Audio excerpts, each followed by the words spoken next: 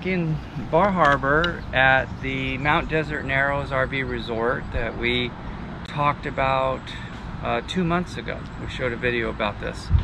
So if you pan around, it can show that there's still a reduced amount of people here in Bar Harbor.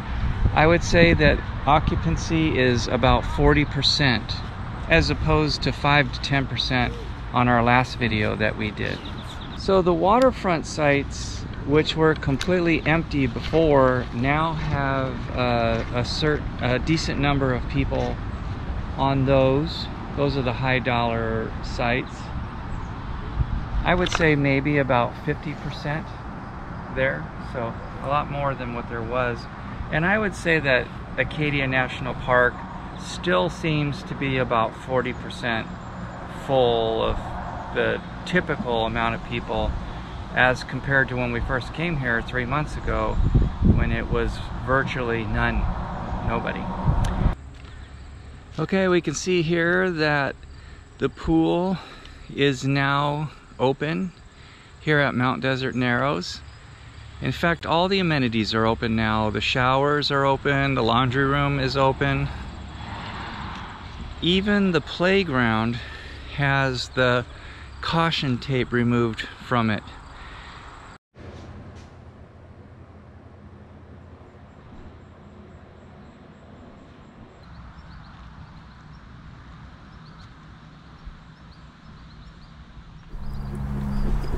So here you are back in Bar Harbor. and what are you doing? We're having a picnic out on the cliff overlooking the ocean. A picnic in your where? In Acadia. Acadia National, National Park. Park. and it's stunning. All right, so let's show everybody. So you got a the Max plate from Mainely Meats right down the street. You have to go to Mainely Meats. This is the best barbecue. You can't say, oh, Texas, oh, whatever the other states are. This is dang good barbecue. so she's got her sauces. you got your ribs, chicken, sausage, pulled pork, potato salad, coleslaw, mac and cheese. Wow. It is just so good. That's all included. And I am not a humongous meat eater, so for me to love this, this is really saying something. So here's where we are. This is what is so fantastic about van life is you can pull over anywhere you want and we just this is the road that leads to the visitor center in Acadia National Park. So there goes the traffic. Traffic's really not too bad here. It's one way and you're just getting a small fraction of the traffic coming into the park. But look at the view for lunch. You pull over, you put your awning out, we've got shade. And look at this view.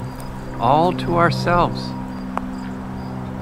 All to ourselves.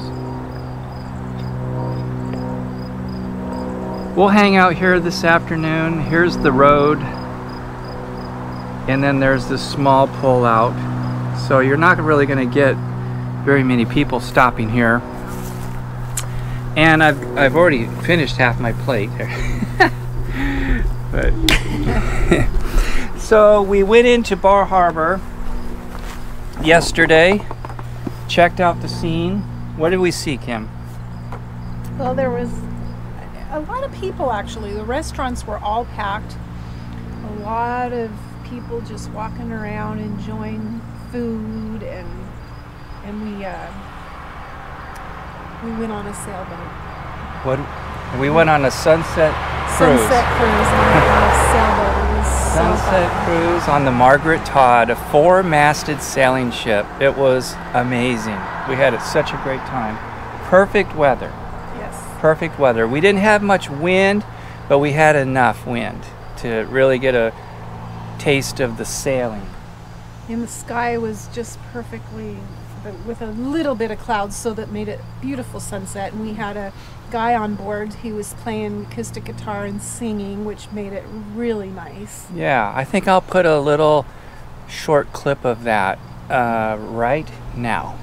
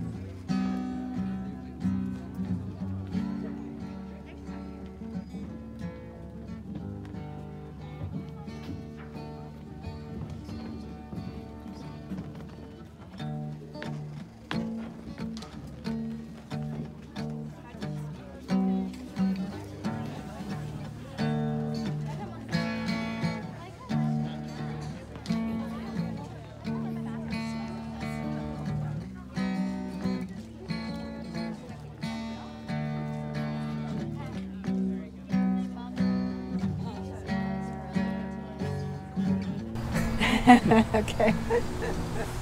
So what'd you think of that, huh? Beautiful. we saw harbor seals, gray seals, porpoises. We didn't see any eagles or anything. No whales. But we had a great time. That was very nice. And they actually uh, serve beer and wine on the boat while you're on the cruise. So if you want to have a cocktail, you can, which is really cool. Yeah. Yeah, really great people, and you don't have to wear a mask on the boat. So don't worry about that. You can if you want to. Yeah, people do. People were kind of wearing them when they were walking around, but when they were sitting, just enjoying the scenery, they took it off. Yeah. which yeah. was good. Yeah. I got to help raise the sail. That was fun. Uh, and then Mm-hmm. after we went on the sunset cruise, we went to the chocolate emporium. It's um, oh, Ben and something. Bill and Bill, Bill and Buster's or Dave and Dan's or something. homemade ice cream. Yeah. Had good stuff. Good good stuff there. Uh, but I would say that I'm still seeing maybe 40% of the normal capacity of people here. So there's a lot more people, but it's still enjoyable. Yes, it, Still it's enjoyable. Still been good. Our RV park is about 40% full, and we'll show you a little bit of that. Um, either I've already showed it to you, or it's, it's coming up on this segment. But we are having a great time. But all good things must come to an end, shouldn't, or don't they? Yeah, we'll be heading out of Maine here shortly. I think that we're going to be heading out, and we're going to be starting to head west.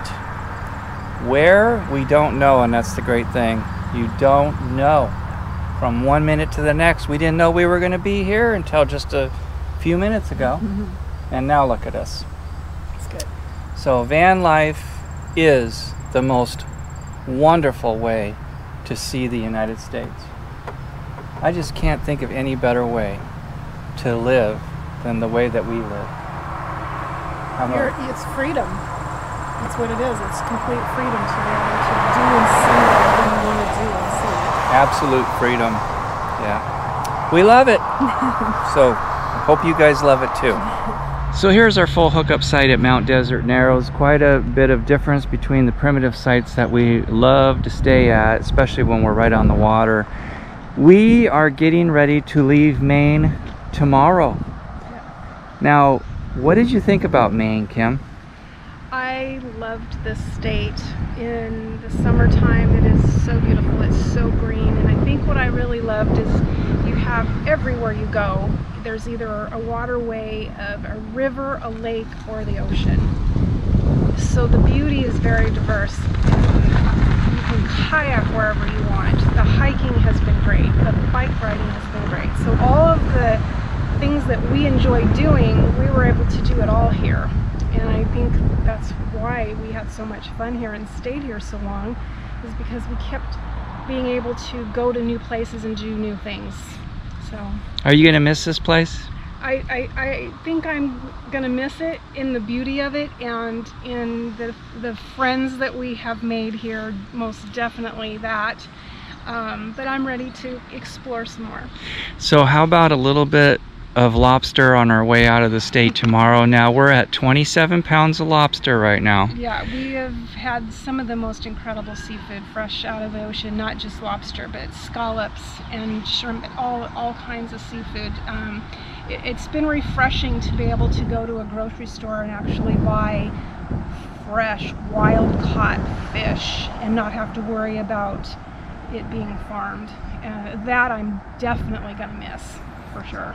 So what do you think? Maybe a two two pound lobster, two and a half pound lobster on your way two out? For me. For for oh two for you? Okay. Yeah, when they get too big, I have a hard time getting into it. So I have a feeling we're gonna break 30 pounds of lobster on our our short Yes. stay here in Maine. Well, We got our fill. well, I'm glad that you've had a good time visiting Maine for the first time. I've loved it. I wanted you to see all the beauty that this place has to offer, and It's been great. And we've had great weather. Hardly any rain, which is unusual. But Yeah. it's been really perfect. okay, well, let's get on our way then. Let's do this. All right.